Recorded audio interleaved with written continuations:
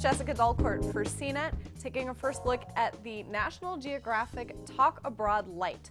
Now, that is the name of the phone provided by the National Geographic brand, um, but it's not who makes the phone. The phone is actually made by a company called BLU, and it is the BLU Deejay Lite phone. So it is being used in this case in service of the Talk Abroad program, which was really aimed at tourists, travelers, students, people who really need a phone and a single phone number that they can be reached at all times while they're abroad and overseas. So it's an interesting service. I'll get to that in a minute. Um, but first, let's look at the phone. It is extremely simple. In fact, so simple that it does not even have a volume rocker. I would never recommend this phone for day to day use.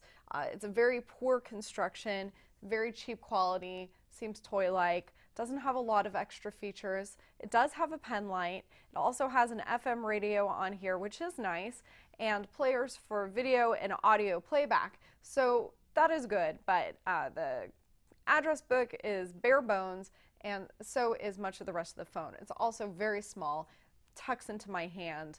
Um, really small screen to less than two inches. There are two SIM card holders on here. One of them, the Talk Abroad International SIM goes into. There is another SIM slot as well, so you could technically use it or at least store another SIM card in there. Also, beneath the battery, there's a micro SD card slot so you can load in music and any videos that you want. So why would you ever buy this phone? Well, if you're interested in the Talk Abroad service, it gives you its SIM card that we just saw with two phone numbers, one for the US, one for the UK. Basically, anybody can call either of those two numbers and reach you wherever you are. You can also dial out. The service is prepaid in the sense that you buy a $29 bundle of credit, you can keep buying more and more bundles of credit, and then every single thing that you do, basically outgoing, costs a certain amount. So checking your voicemail will cost 45 cents, texting somebody will cost a little bit of money. Most of the incoming texts and phone calls will be free for you, so that's good.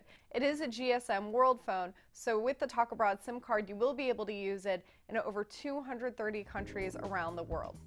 I highly recommend if you're interested in the phone and the service that you look at my full review on cnet.com because all of the rates can get a little bit confusing. So this is your first look at the BLU Deejay Lite, which is also known as the National Geographic Talk Abroad Lite. I'm Jessica Dolcourt for CNET.